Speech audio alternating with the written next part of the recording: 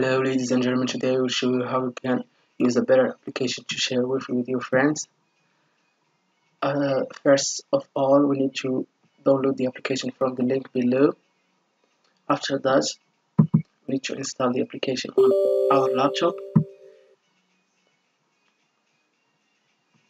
Click on install.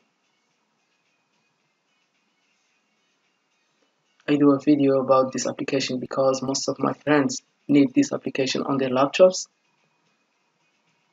So after install the application run the application on your laptop.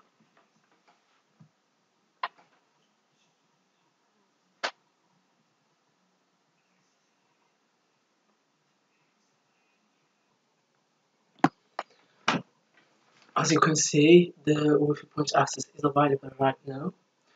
The now you can get the connection on your phone or in another laptop you have in your in your room.